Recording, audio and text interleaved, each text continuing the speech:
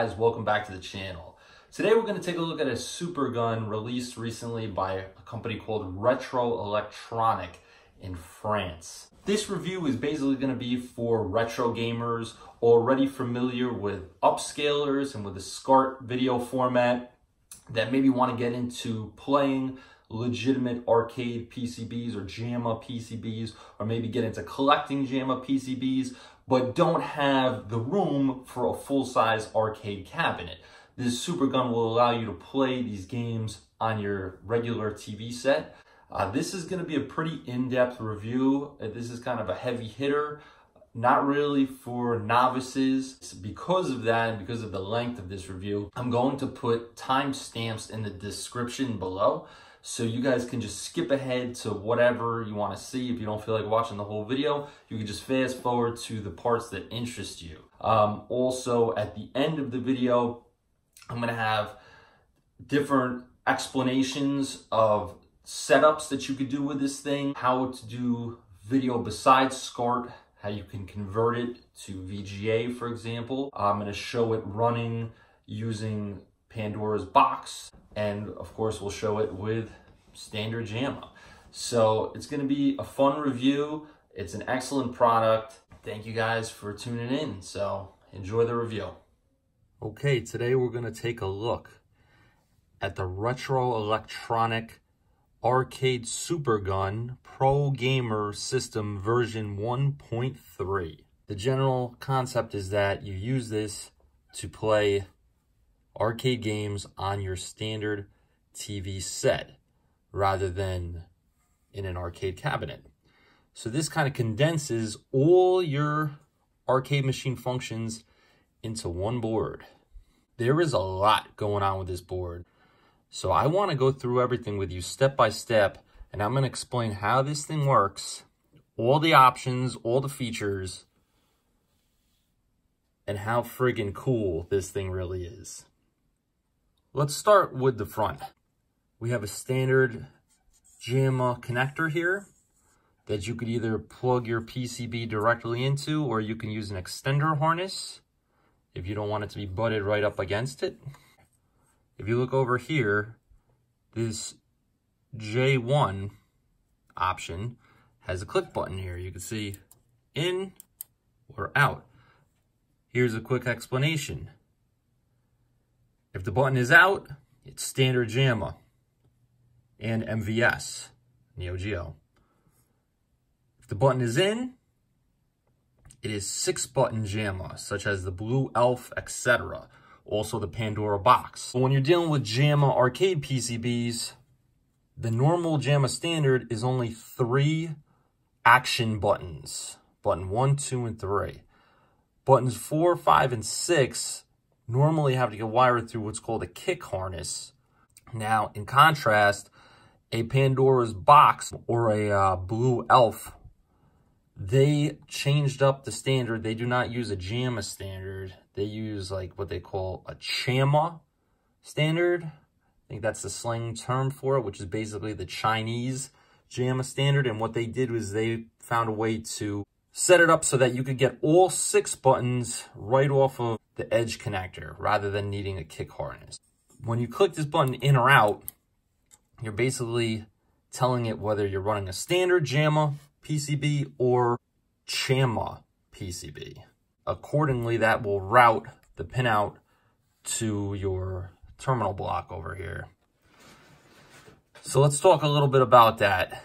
When you plug your JAMMA PCB in here, all the inputs are routed to this terminal, terminal block and also to your DB15 over here. And it's basically your choice how you want to do this. If you want to use a Neo Geo controller and just plug it in, you can go right ahead and do that. Um, but mind you, it'll only accept buttons 1 through 4 because Neo Geo only has buttons 1 through 4. Technically, you could get button 5 as the select button if you wanted to trick it. If you wanted to play Street Fighter with 5 buttons, you could trick it and hit the select button for medium kick. It's a little tech tip. Also, you can see what I did here for playing Neo Geo. On the terminal blocks up here, you have uh, coin 1 and 2 and I jumpered that over to button 5, which is the select button on Neo Geo. So right now, when I hit select on my Neo Geo controller, it'll insert a coin also. And that's a Neo Geo single slot I'm talking about right now. We're going to come to the multi-slot in a second. Bear with me. So moving along, another feature that this has is right here, an auto fire feature. And again, with simple click buttons in or out, you could turn your auto fire on or off. And the way you activate this is once you turn it on, hit whichever button you want to be auto fire. So say you hold down button one and then the start button at the same time, and that will lock in auto fire for button one. So it's pretty neat that they have an auto fire button that you can actually pick which button you want to use with. Pretty awesome. Let's talk about the power. There's two ways you can power this thing. One is with a standard PC power supply, either a, a 20 pin power supply or a 20 plus 4. Either or will work and it plugs right in. I actually did pick up a power supply for this. I specifically chose this power supply, the Corsair CX650M. The reason I like this one is not only does it have its own power, power switch, which I thought was cool, but also it is a semi-modular power supply, meaning that I don't have a million cables coming out of this. I knew that I was only gonna need this, this 2024 pin for the power, so I love that basically the, the only thing coming out of this is that. There's, there's one other power adapter that does come out that I kind of just zip tied out of the way kind of just a clean look. Everything is kind of uh, compact. You can also use a standard arcade power supply and wire it right into the terminal block. With the regular arcade power supply, what's nice is that you could raise and lower the voltage accordingly, um, as I found that using a JAMMA extender cable, you can lose, you can have some voltage drop because of now the distance. And unfortunately, with my PC power supply over here, you know, there's no way to adjust or make up the difference for that lost power. These two connections are wired in parallel, so it could go either way. And what's really cool is if you power it using the PC Molex connector, you can actually steal power off of these terminals to power something else. So for example, I have a RGB to VGA converter. So that converter needs 5 volts of power. So I could steal 5 volts of power, just run a wire from this terminal block to that other converter board and power it using this. Another cool feature is that this has the ability to generate its own minus 5 volts. Most modern PC power supplies do not output minus 5 volts that are needed for some older JAMMA games. There's a little switch right here. I don't know if I could bring it in if you could see it, but there's a little switch right here and you could see set the switch to either setting 1 or 2. Setting 1 is auto-generated and setting 2 is from the power supply. So if you have an older power supply that does generate minus 5 volts, you would set it to setting two, which means you're taking minus five from the power supply. And if you have a newer power supply, like the one that I have over here, that does not put out minus five, you flip the switch to the one setting over here, and it will auto-generate its own minus five volts. That is pretty cool. Moving along, here's a power switch for the board. If you wanted to turn it on and off from here, you can. I don't really use that because my power supply has its own switch right here, so I just leave it on. Um, remote on, I believe this is if you wanted to just wire in uh, an on and off switch remotely. I believe that's what it's for. So you would just wire right into this terminal block. So if you wanted to, you can use this to, to run a standard arcade cabinet. You could wire your buttons directly from here to a control panel. Also, your kick harness, if you wanted to, you could wire directly into buttons 4, 5, and 6 for player 2 and player 1. So if you wanted to wire your kick harness directly into the screw terminal block, you can do that. The term kick harness comes from the game Street Fighter 2, where all your kick buttons are wired to buttons 4, 5, and 6, which use an additional harness on the Street Fighter 2 PCB board to output those buttons.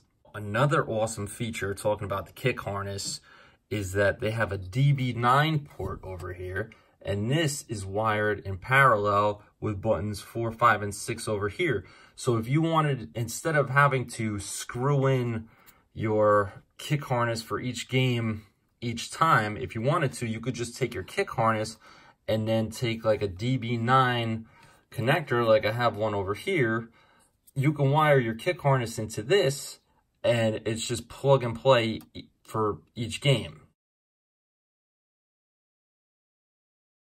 And again, you don't have to do that. You can just wire it into the terminal block over here.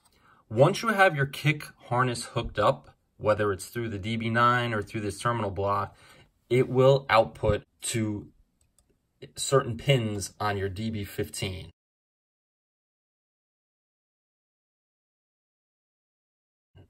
So you can either create your own control panel with all six buttons. Uh, you can use your Neo Geo joysticks. They will plug directly in, but you'll only have, you won't have all six buttons available. Or Retro Electronik also produces these converters. So this one is like a DB15 to SNES adapter. And this would allow you to use a standard Super Nintendo controller. And if you have your kick harness wired up, it'll output to the Super Nintendo controller. So you can use all six buttons needed on a Super Nintendo controller. They also make one of these that outputs for a Genesis. And you would just plug it in like that. And then you would plug your Super Nintendo controller into there. So if you want to go really simplistic and you don't want to worry about having to build a control panel or dig up a Neo Geo stick, you can hook directly up to your SNES controller or Sega Genesis. Moving along. This little screen here will give you a voltage readout so you can actually see what your power supply is putting out. And you could make a choice with this switch right over here if you wanted to display what the 5 volt reading is or what the 12 volt reading is and it'll display those accordingly on your little display screen. Obviously, it's not lit up right now. You need to power it. But that is awesome that you can actually actually see in real time what kind of voltage you're getting out of your power supply. I love that. Here's your video terminal block.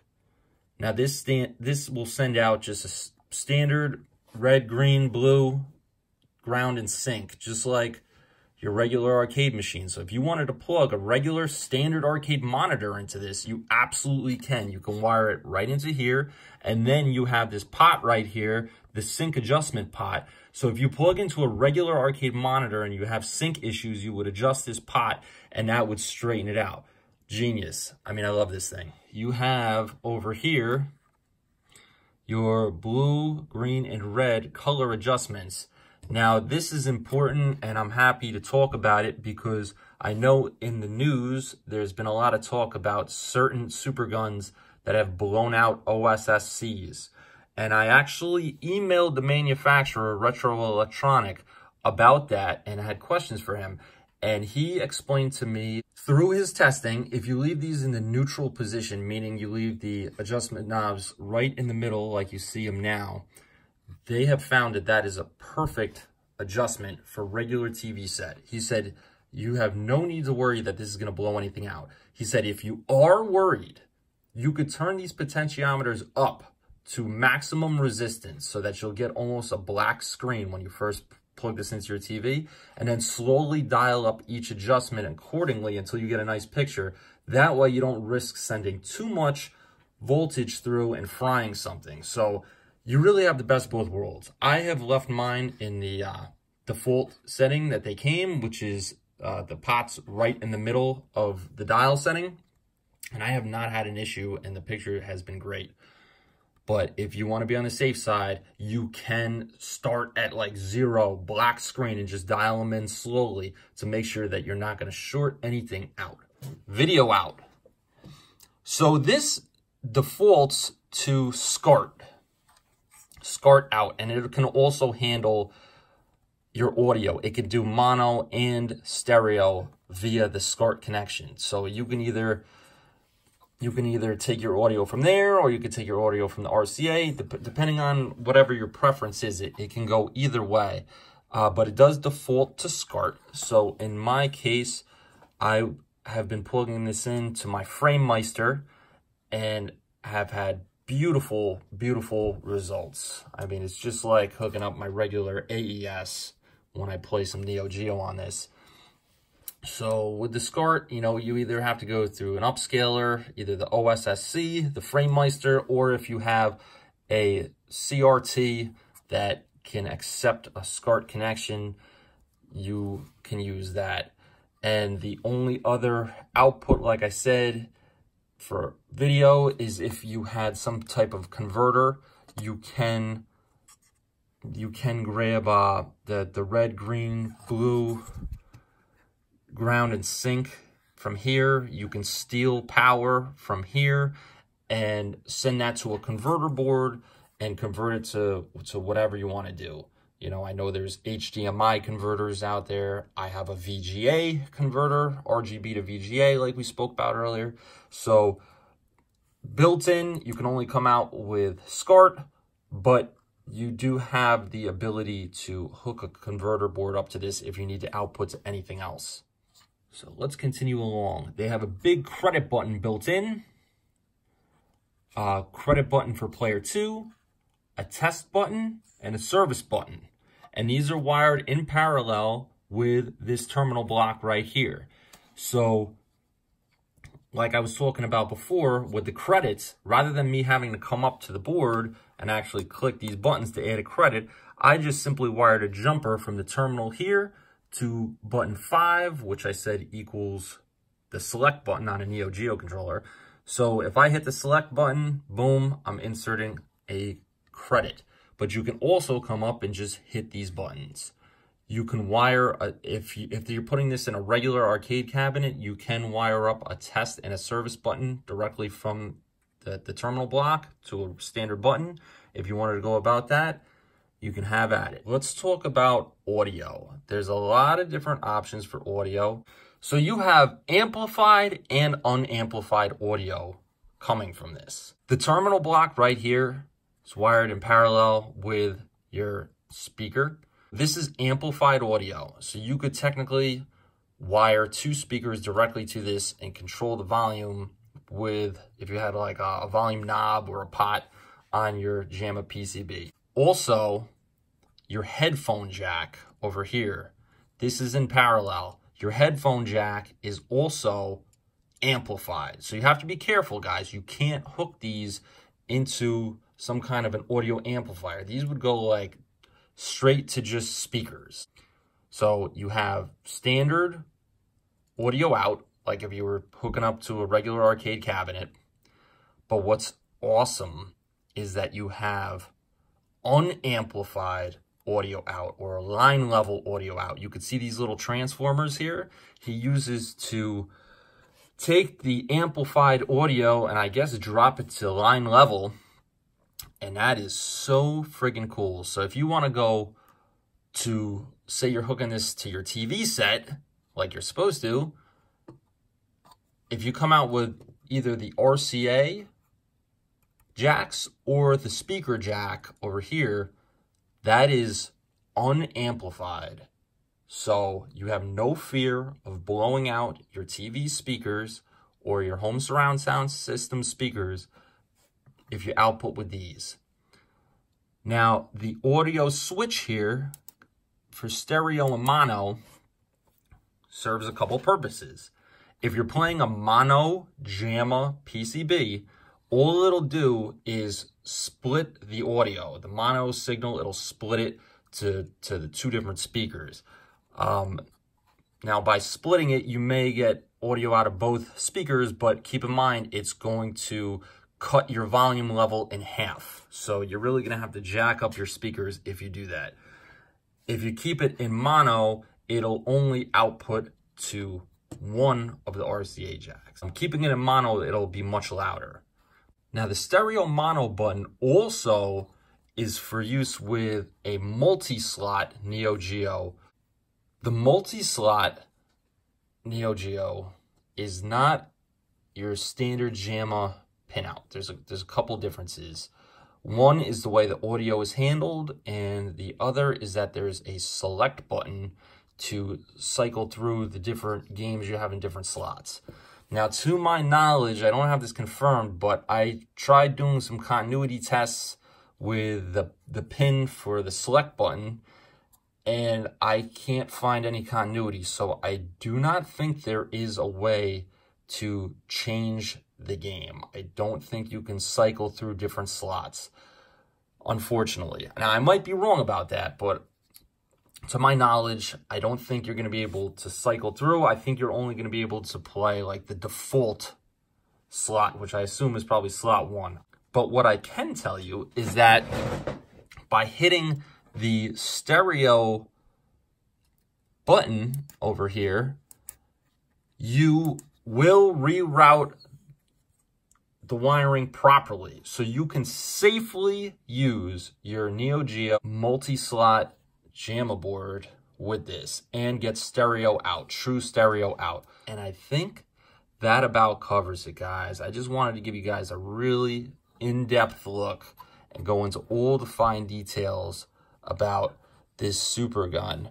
And this thing is amazing. I mean, I, I can't say enough good things about it. And I had been in contact with Retro Electronik. I had been emailing back and forth with them, questions and concerns. I just really wanted to clear everything up um, before I committed to this. These are a phenomenal price if you can get it. You can get a kit from these guys. They'll sell it with either a Genesis or Super Nintendo adapter for your controller. They'll sell it with a power supply. I would just drop them a note, hey, I live in America. Can you make sure that it's a 60 hertz, 110 volt power supply?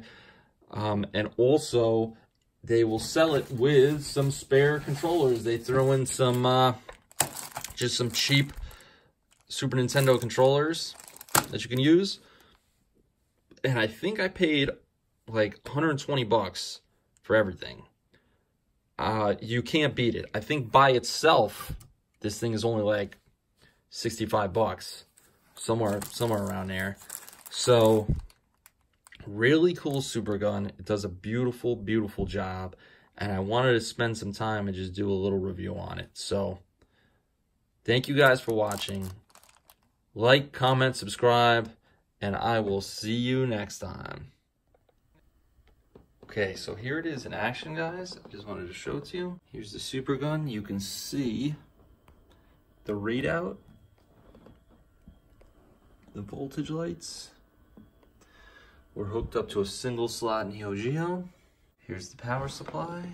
And we just finished flashing the game. Let's see what happens. Oh yeah.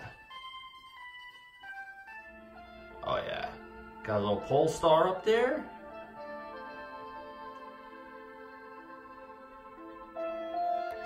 Running on the super gun.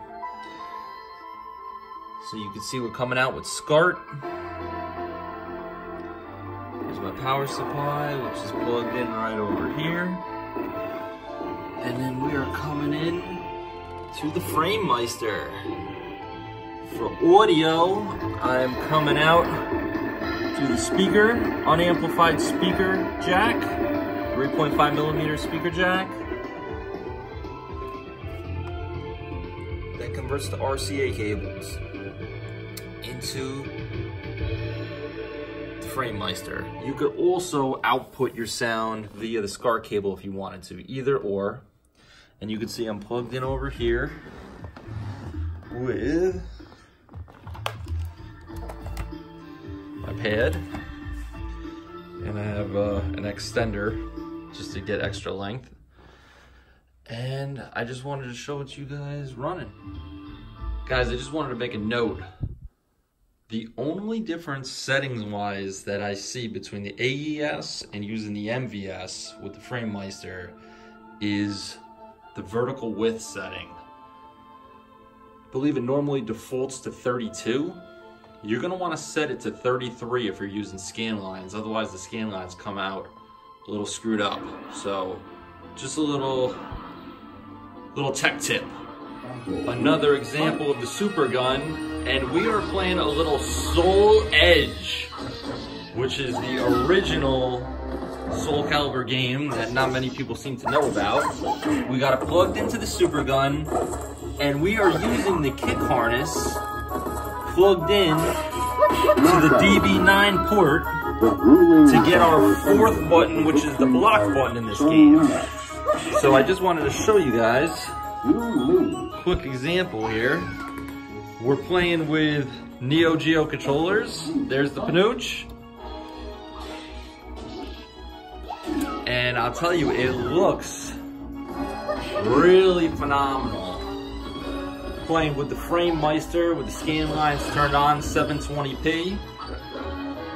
We have it stretched out to uh, 16.9. And just uh, quick example. Look into the Framemeister. All right, guys, so I just wanted to demonstrate another way that you can hook up the super gun. So I have Mortal Kombat on the bench here running and you can see that I have it hooked up to the super gun. We got a Neo Geo controller plugged in. I don't have the kick harness hooked up currently, but that's okay. So in this one, you can see that instead of hooking up to the SCART connection, we're actually using the arcade red, green, blue, ground, and sync wires that would normally go to your arcade monitor. We're using these wires, which is tied into the video terminal block right there. And we are feeding this converter I have here, which is a arcade monitor to VGA converter.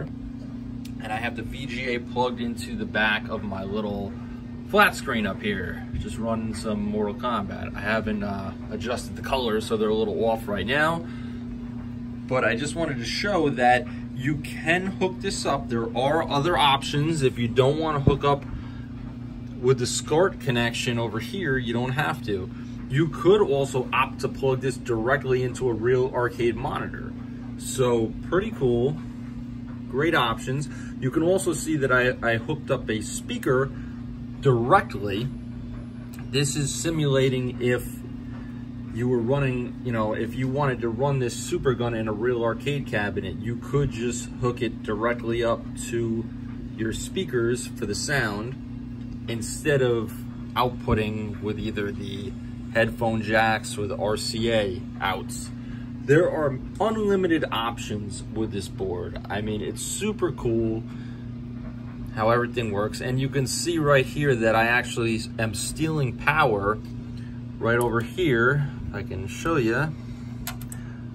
I'm stealing power right here from the power supply to power up this little converter board.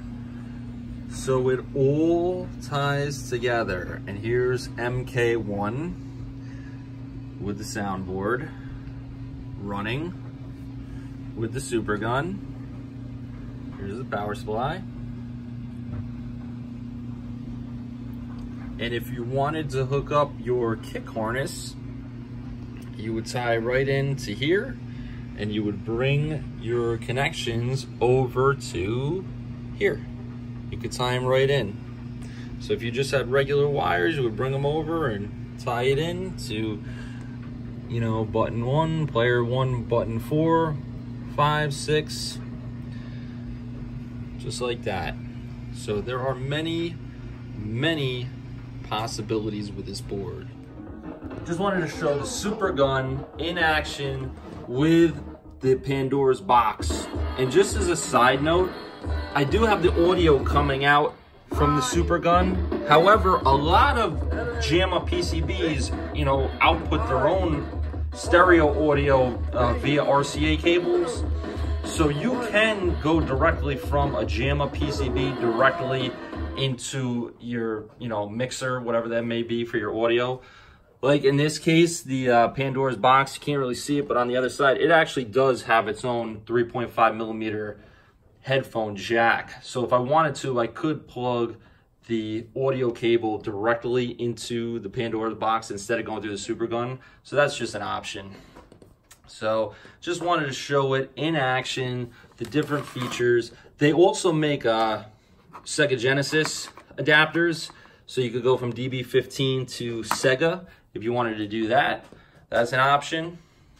And uh, that's pretty much the setup right here. I just wanted to show it to you guys with the Pandora's box and with that button clicked in so it reroutes reroutes the all six buttons to the JAMMA Edge connector. All right, guys, so you can see we're playing with the SNES controller. It has an extremely weird button layout. So weak punch is B, medium punch is A, fierce punch is Y, weak kick will be X, medium kick will be L, and fierce kick will be R. So it's a funky button layout using this.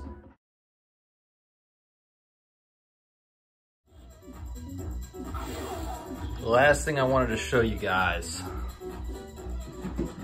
So right now we're rocking the Pandora's Box 4. And I just wanted to show you, we are actually wireless right now with the 8BitDo, the, uh, what is it, the SN30. So just wanted to show, I got the receiver plugged in to the SNES adapter and it works.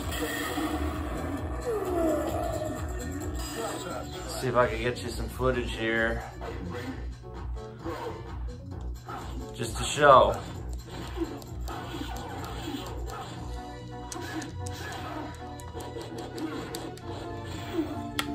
So you can potentially go wireless with your super gun if need be. So pretty cool guys, that's my setup.